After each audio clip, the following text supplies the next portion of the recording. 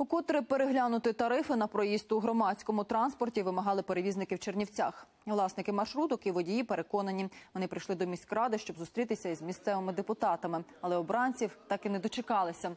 Порадились самі за зачиненими дверима та пішли. Підвищити ціни на квитки від 3 до 5 гривень. Маршрутники вимагають уже два роки. Мовляв, бензин та запчастини дорожчають, але у виконкомі впевнені інформація перевізників неправдива.